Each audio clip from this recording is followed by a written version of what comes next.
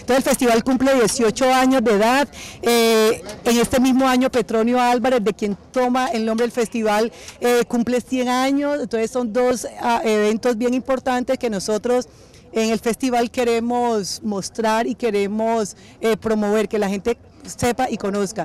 Si lo ve físicamente, hay un cambio estructural en todo lo que la muestra eh, eh, y en el concurso. Mañana 13, que es la inauguración oficial, eh, va a ser un homenaje a Buenaventura, músicos de Buenaventura cantándole a Buenaventura. Vamos a, entregarle un reconocimiento muy especial a Betty Garcés, que es una mujer de Buenaventura, una soprano que triunfa en Europa y que aquí no es muy conocida. Entonces le queremos decir a Buenaventura, a la región mire, tenemos una mujer de Buenaventura que, que es una soprano, cuando siempre normalmente a los afrodescendientes nos relacionan con, con deporte y con baile. Entonces eh, es bien interesante, eso lo vamos a hacer mañana y desde el 14 en adelante pues el concurso eh, de música.